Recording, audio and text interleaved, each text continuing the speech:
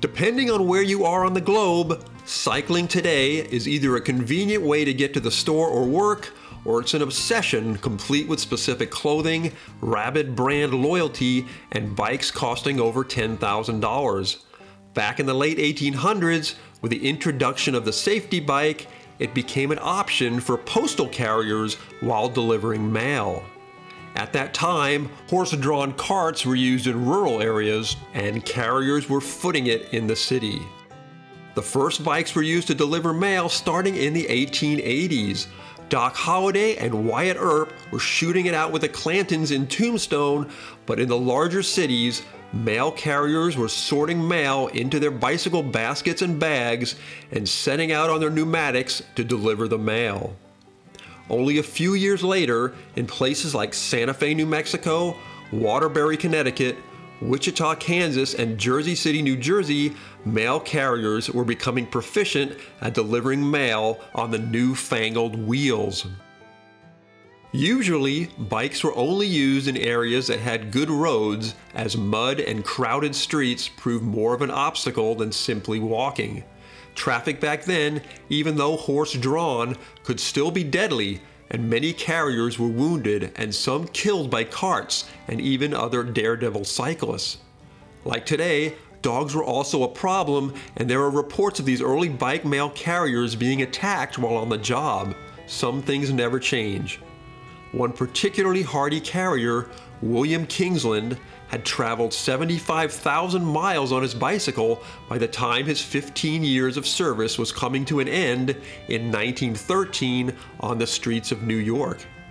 Bike thieves are also something that has unfortunately been around since the invention of the bike. It was not uncommon for carriers' bikes to be stolen while they were busy with their mail. In 1910, a man was caught stealing James Carrard's bicycle from the side of the post office. The thief hightailed it straight to a bike dealer to resell and was quickly caught. He was promptly given a four month jail sentence. They didn't mess around back then. The mail carriers at that time weren't given bikes, they were expected to provide their own, and bikes back then, especially ones that would hold up day in and day out, were not cheap.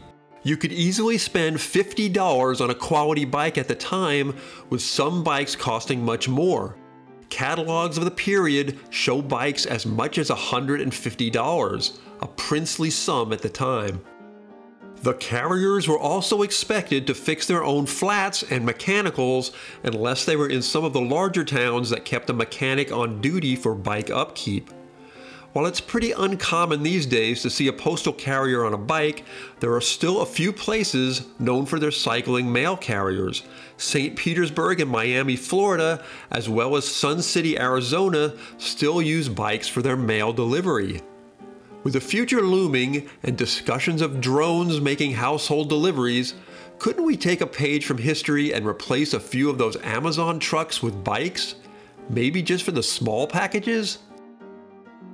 Before I go, I'd like to thank Dan Cody for suggesting the subject of this video and also the late Nancy Pope the former curator and founding historian at the National Postal Museum, as most of the information for this video was from her blog posts. Be safe out there, and we'll see you next time.